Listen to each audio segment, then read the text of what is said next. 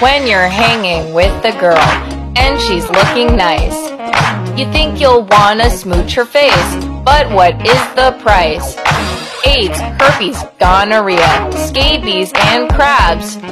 Think you want them down your pants? No, you raging. Now this shit has really hit, and I feel like James Dean. But don't let that distract from all these violent STDs. HPV, HIV, spooky vaginosis.